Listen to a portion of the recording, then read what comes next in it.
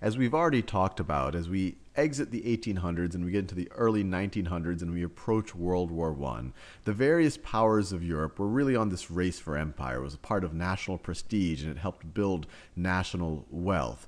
But of the major powers, Germany and Italy were relatively new as unified states. The British Empire, they had been building their empire for hundreds of years. The Germans, on the other hand, even though they have a very old culture going back hundreds or you could argue thousands of years, as a unified state, they only existed since 1871, and that's only after the Franco Prussian War, which allowed the Prussians to unify all of Germany and the Italians only became fully unified in 1870, also due to the Franco Prussian War, because the French had to focus on the Germans, had to focus on the Prussians. They couldn't protect the Papal States anymore, and so that allowed the Italians to unify it under their rule.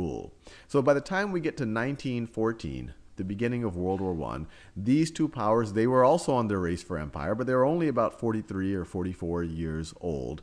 And so they hadn't been able to build as extensive of an empire as France, and especially as extensive of an empire as Great Britain.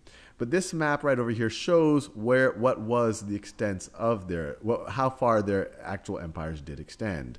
Italy had control of Libya, Eritrea, and parts of what's today Somalia. And Germany had control also it also had had had holdings in Africa, possessions in Africa, Togoland, which is modern day Togo, Cameroon, which makes up which is modern day Cameroon is part of German Southwest Africa, that's now known as Namibia, German East Africa, which is now Tanzania, Rwanda, and Burundi. And Germany also had holdings in Pacific, in the Pacific, and even in China. These are the, the Pacific islands that Germany had possession of. It had German New Guinea, and it even had it even had control of the town of Tsingtao. And that actually is culturally interesting for those of you watching this video in 2013.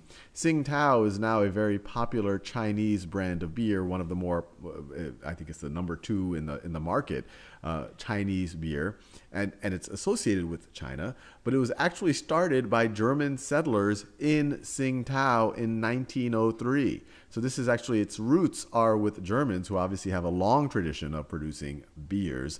And so Tsingtao, you could argue it's a Chinese beer. It's produced in China, but it had its roots in kind of German imperial rule.